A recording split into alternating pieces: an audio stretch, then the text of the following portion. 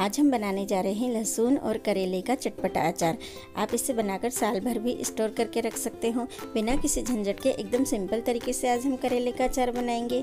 खाने में बिल्कुल भी कड़वा नहीं लगेगा और बहुत बढ़िया अचार बन के तैयार होगा। तो चलिए फटाफट से आज की रेसिपी बनाना स्टार्ट करते हैं। अचार बनाने के लिए यहाँ मैंने, ये देखिए, इस तरीके से पतले और नरम वाले आधा किलो करेले लिए हैं। और साथ ही यहाँ पर मैंने तीन गठाने लहसुन के लिए हैं। सबसे पहले यहाँ पर मैंने करेले को अच्छे से धोकर सूखे कपड़े से पोछ लिया है। और ये देखिए, इस तरीके से गोल गोल टुकड़ों में कट कर लिया है और लहसुन को भी हमने छील लिया है। और ये देखिए, करेले के अंदर जो इस तरीके से कड़क वाले बीज होते हैं ना, उनको हमने अलग कर दिया है। चलिए आगे बढ़ते हैं और देखते हैं कि अचार बनाने के लिए हमने कौन कौन से मसाले लिए हैं। मसालों में यहाँ पर मैंने 200 ग्राम राई दाल ले ली है, दो टेबल स्पून सौंफ है, सौंफ को हमने दरदरा कूट लिया है, साबुत धनिया है, इसको भी हमने दरदरा कूट लिया है। एक टेबल स्पून अमचूर पाउडर। आधा टेबल स्पून मेथी दाना लिया है। लाल मिर्च पाउडर, हल्दी पाउडर और नमक लिया है। 15 से 20 नग यहाँ पर मैंने काली मिर्च के दाने लिए हैं और अचार बनाने के लिए यहाँ हम सरसों का तेल लेंगे। तो चलिए अब हम गैस की तरफ़ चलते हैं। सबसे पहले हम एक कप सरसों के तेल को धुआँ निकलने तक गर्म करेंगे। यहाँ मैंने दो कप सरसों का तेल लिया है। बाकी बचे हुए एक कप तेल का यूज़ हम बाद में करेंगे। ये देखिए, तेल भी अच्छे से गर्म हो गया है और तेल का कलर भी एकदम लाइट हो गया है। अब हम गरम गरम तेल में कटे हुए करेले के टुकड़े दो से तीन मिनट तक हाई फ्लेम पर फ्राई करेंगे। ये देखिए, इस तरीके से और बीच बीच में चलाते रहेंगे। यदि आप चैनल पर नए हैं तो चैनल को सब्सक्राइब करना बिल्कुल ना भूलें और पास में जो बेल आइकन है, उसे प्रेस करना ना भूलें, जिससे मेरी हर आने वाली वीडियो की नोटिफिकेशन आपको मिलती रहे।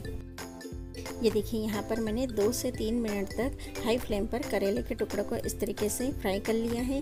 और ये देखिए, इनका कलर भी हल्का सा डार्क हो गया है और ये सॉफ्ट भी हो गए हैं। तले हुए करेले, ये देखिए, इस तरीके से अब हम एक बर्तन में निकाल लेंगे और इसी तेल में लहसुन को भी फ्राई कर लेंगे। लहसुन को भी हम हल्का गोल्डन कलर आने तक फ्राई करेंगे। यहाँ पर मैंने लहसुन की तीन गठाने ली है। यदि आप अचार में लहसुन का स्ट्रॉन्ग फ्लेवर पसंद करते हो तो आप चार से पाँच गठान भी ले सकते हो।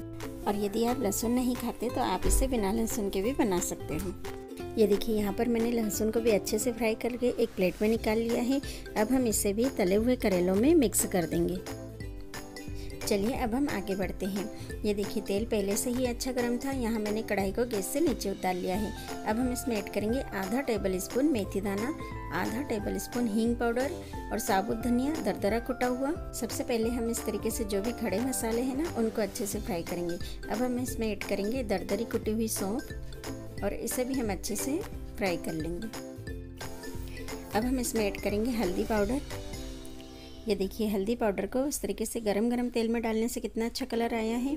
लाल मिर्च पाउडर ऐड करेंगे और अच्छे से मिला लेंगे। यहाँ पर मैंने तीन टेबल स्पून लाल मिर्च पाउडर लिया है। मिर्ची की मात्रा आप अपने हिसाब से कम या ज़्यादा भी कर सकते हो।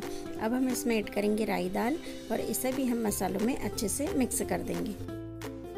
यहाँ पर हमने सारे ही मसालों को तेल में अच्छे से फ्राई किया है और मसालों से बहुत ही अच्छी खुशबू आ रही है। लास्ट में अब हम इसमें ऐड करेंगे नमक और अमचूर पाउडर। अमचूर पाउडर ऐड करने से करेले के अचार में हल्की सी खटास भी आती है और टेस्ट भी बहुत अच्छा आता है। अब हम इसमें तले हुए करेले और लहसुन ऐड करके अच्छे से मिक्स कर देंगे। अचार बनाते समय हमें ध्यान रखना है कि जब भी हम कोई सा बर्तन लें, वो पूरे तरीके से सूखा होना चाहिए। जब भी हम कोई सा भी अचार बनाएँ, अचार को हमेशा कांच की बरनी में भरे। प्लास्टिक की बरनी में भरने से अचार में स्मेल आने लग जाती है और अचार के खराब होने का डर रहता है। और जिस भी कंटेनर में हमें अचार भरना है, वो पूरे तरीके से साफ़, धुला और सूखा हुआ होना चाहिए। बचे हुए एक कप तेल को भी हम अच्छे से धुआँ निकलने तक गर्म कर लेंगे और गरम गरम तेल को, ये देखिए, इस तरीके से हम अचार में मिला देंगे। और हाँ एक बात का ज़रूर ध्यान रखें, यदि हमें लंबे समय तक अचार को स्टोर करना है तो अचार पूरे तरीके से तेल में डूबा हुआ होना चाहिए। तेल को भी हम अचार में अच्छे से मिक्स कर देंगे और अचार को ठंडा होने के लिए रख देंगे।